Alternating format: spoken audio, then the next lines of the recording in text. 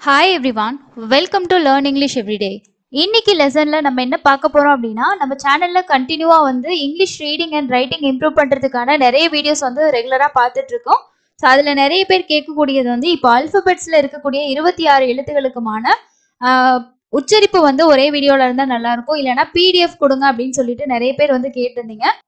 So ஒவ்வொரு வீடியோஸ்லேயும் நம்ம தனித்தனியாக இதோட உச்சரிப்புகள் பார்த்தாலுமே ஸோ மொத்தமாக வந்து என்னென்ன உச்சரிப்புகள் இருக்குது அப்படின்னு தெரிஞ்சுக்கிறது ரொம்ப முக்கியம். ஏன்னா உச்சரிப்புகள் தெரிஞ்சால் மட்டும்தான் நம்மளால இங்கிலீஷில் இருக்கக்கூடிய வார்த்தைகளை ரீட் பண்ணுறதுக்கும் எழுதுறதுக்கும் வந்து கண்டிப்பாக முடியும். ஸோ அதை தான் இந்த வீடியோவில் நம்ம பார்க்க போகிறோம் ஸோ ஏலேருந்து ஜெட் வரைக்கும் இருக்கக்கூடிய எழுத்துகளுக்கு என்னென்ன உச்சரிப்புகள் எத்தனை வகையான உச்சரிப்புகள் இருக்குது அப்படின்றத டீட்டெயிலாக இந்த வீடியோவில் இன்னைக்கு லேர்ன் பண்ணலாம். இதுதான் ஃபர்ஸ்ட் டைம் நம்ம சேனலுக்கு நீங்கள் வாரீங்க அப்படின்னா சேனலை சப்ஸ்கிரைப் பண்ணல அப்படின்னா சப்ஸ்கிரைப் பண்ணி வச்சுக்கோங்க. அப்போதான் நாங்கள் போடக்கூடிய எல்லா வீடியோஸுமே உங்களுக்கு நோட்டிஃபிகேஷனாக வரும். மறக்காம சப்ஸ்கிரைபுக்கு பக்கத்தில் இருக்கக்கூடிய பெல் ஐக்கானை ப்ரெஸ் பண்ணி ஆல் அப்படின்ற ஆப்ஷனையும் செட் பண்ணி வச்சுக்கோங்க. ஸோ நான் வந்து ஒவ்வொரு அல்ஃபபெட்டுக்கும் எத்தனை உச்சரிப்புகள் இருக்குது அப்படின்றதையும் உங்களுக்கு கிளியராக கொடுத்துருக்கேன். ஸோ இதில் பிடிஎஃப் வேணும் அப்படின்னா நான் கண்டிப்பாக பிடிஎஃபாக வந்து உங்களுக்கு இதை கிரியேட் பண்ணிட்டு வேணும்னா லிங்க் டிஸ்கிரிப்ஷன் பாக்ஸில் கொடுக்குறேன். யார் யாருக்கெல்லாம் வேணுமோ அவங்க எல்லாமே கமெண்ட் பண்ணுங்கள் ஸோ ஃபஸ்ட்டு வந்து பார்த்தீங்கன்னா ஏ எடுத்துக்கிட்டீங்க அப்படின்னா ஏக்கு வந்து மொத்தமாக உங்களுக்கு நான்கு விதமான உச்சரிப்புகள் இருக்குது ஆ அது இல்லாமல் ஆ ஏ ஏ. ஓகேங்களா ஸோ குறில் நெடில் அப்படின்னு சொல்லிட்டு ரெண்டு ரெண்டு உச்சரிப்புகள் வந்து இருக்கு. ஸோ இந்த நான்கு உச்சரிப்புகள் தான் உங்களுக்கு மேக்சிமம் வந்து வரும் ஓகேங்களா ஸோ அது இல்லாமல் நமக்கு வவல்ஸ் எழுத்துகள் ரெண்டு சேர்ந்து ஒரு எழுத்து வர உச்சரிப்புகள் இருக்கு. அது இல்லாமல் நமக்கு ஒவ்வொரு எழுத்துகளுக்குமான உச்சரிப்பு தெரிஞ்சுக்கிட்டோம்னாலே ஓரளவுக்கு நம்மளால ரீடிங் வந்து பண்ண முடியும். ஸோ ஏக்கு வந்து உங்களுக்கு நாலு உச்சரிப்புகள் இருக்கு. அதே மாதிரி பி எடுத்துக்கிட்டீங்க அப்படின்னா இப்பு அப்படின்ற உச்சரிப்பு மட்டும்தான் இருக்கு. ஃபார் எக்ஸாம்பிளுக்கு இப்போ rub R U B so இங்க வந்து பாத்தீங்கன்னா இர் ரா இப்பு ஓகேங்களா? ஸோ பிக்கு வந்து இப்பு அப்படின்ற உச்சரிப்பு மட்டும்தான். ஸோ இந்த பி கூட உங்களுக்கு வவல் சேர்ந்து வரும்போது இப்பு பா அந்த மாதிரி நமக்கு வந்து உயிர்மை எழுத்துக்களா மாறுமே தவிர பியோட உச்சரிப்பு என்ன அப்படின்னு பார்த்தோம்னா இப்பு மட்டும்தான். இதுவே சிக்கு நம்ம எடுத்துக்கிட்டோம்னா சிக்கு வந்து ரெண்டு விதமான உச்சரிப்புகள் இருக்கு. ஸோ அதை நான் தனியாகவும் ஒரு வீடியோவாக உங்களுக்கு வந்து கொடுத்துருந்தேன். இக்கு அதே மாதிரி பார்த்தீங்கன்னா இச்சு. ஸோ இக்கு அப்படின்றதுல வந்து வேர்டு வந்து பார்த்தீங்கன்னா இப்போ சிக் அந்த மாதிரி வேர்ட்ஸ்க்கெல்லாம் இக்குன்ற சவுண்ட் வரும்.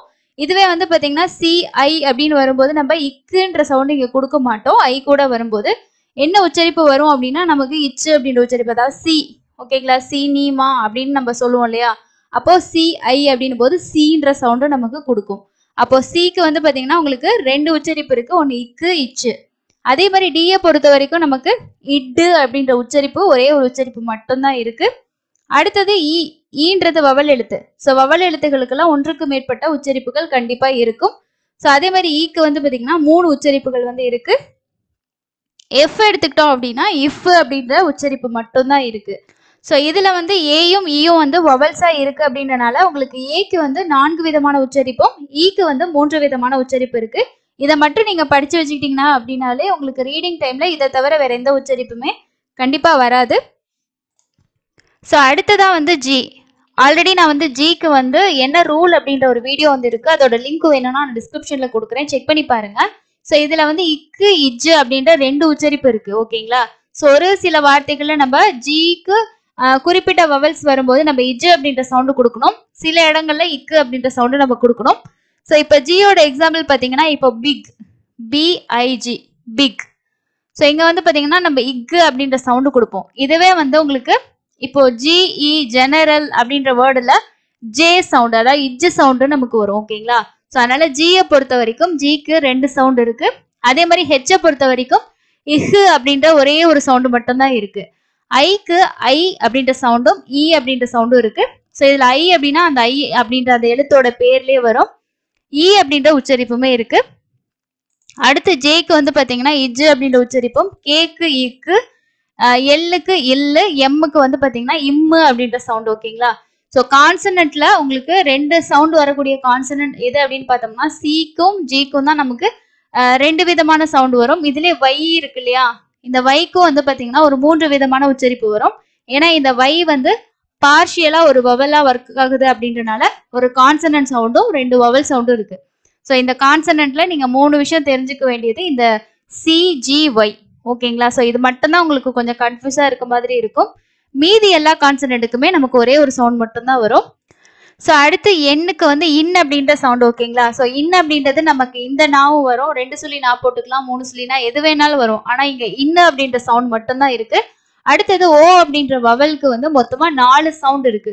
ஓ ஓ அதே மாதிரி ஆ ஆ அப்படின்ற குறில் நெடில் உச்சரிப்புகள் நாலு முக்கியமான உச்சரிப்புகள் வந்து இருக்கு.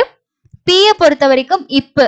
ஓகேங்களா? பிக்கும் வந்து பாத்தீங்கன்னா இப்புன்னு சொல்லக்கூடாது. அது இப்பு அப்படின்னு சொல்லி நம்ம அழுத்தி உச்சரிக்கணும். பிய பொறுத்த வரைக்கும் நம்ம இப்பு அப்படின்ற மாதிரி உச்சரிப்பு தான் கொடுக்கணும். கியூவோட உச்சரிப்பு இக்கு. ஆரோட உச்சரிப்பு இர். அதே மாதிரி எஸ்ஸுக்கு வந்து இஸ். டீக்கு வந்து பாத்தீங்கன்னா இட்டு. டிக்கு வந்து இட்டு அப்படின்ற உச்சரிப்பும் டீக்கு வந்து இட்டு அப்படின்ற உச்சரிப்பு நம்ம கொடுக்க கூடாது இட்டு அப்படின்னு சொல்லி சொல்லணும். ஓகேங்களா? ஸோ ரெண்டோட ப்ரொனன்சியேஷனை நம்ம கொஞ்சம் டிஃபரன்ஷியேட் வந்து பண்ணணும். ஓகேங்களா? அப்பதான் அது டீயா டியா அப்படின்றது கிளியரா நமக்கு வந்து புரியும். ஸோ அடுத்தது யூ யூ வந்து வவல் அப்படின்றனால யூக்கு வந்து பாத்தீங்கன்னா மூணு விதமான உச்சரிப்பு இருக்கு. ஒன்னு ஆ அப்படின்ற உச்சரிப்பும் அடுத்து யூன்ற உச்சரிப்பு இருக்கு ஊன்ற உச்சரிப்பு இருக்கு. இப்ப ப்ளூ அப்படின்றதுல நமக்கு ஊன்ற உச்சரிப்பு வரும்.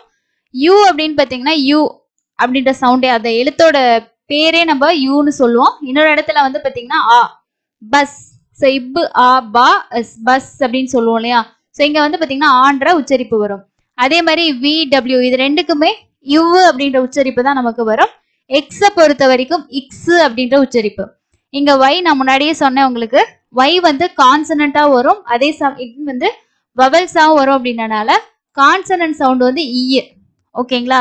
ஸோ வவல் சவுண்ட் என்னன்னு பார்த்தீங்கன்னா e, இஐ ஸோ இது ரெண்டுமே வவல் சவுண்டு இது கான்சனன்ட் சவுண்ட் இசடை பொறுத்த வரைக்கும் இஸ் ஸோ இங்க வந்து நீங்க தெளிவா புரிஞ்சுக்கக்கூடிய விஷயங்கள் பார்த்தீங்கன்னா கான்சனன்ட்ல வையை தவிர மீதி அதாவது சி ஜி ஒய் இது மூணுக்கும் தான் உங்களுக்கு ரெண்டுக்கு மேற்பட்ட சவுண்ட் இருக்கு ஓகேங்களா?